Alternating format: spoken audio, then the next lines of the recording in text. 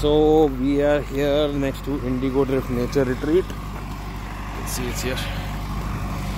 And this is the new plot that we have purchased only very recently. As you can see, it's a 2500 square feet plot next to the villa and it has already started taking up shape.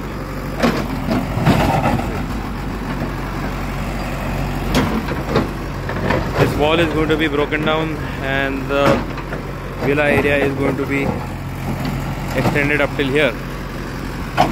We are planning to start activities like volleyball cricket football camping and uh, bonfire live music sessions in this area. Apart from that in the near future we can expect another villa to be constructed over here. That should accommodate good 10 to 12 persons easily hence increasing the total capacity of the villa.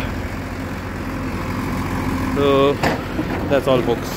Wish us luck. Thank you for your time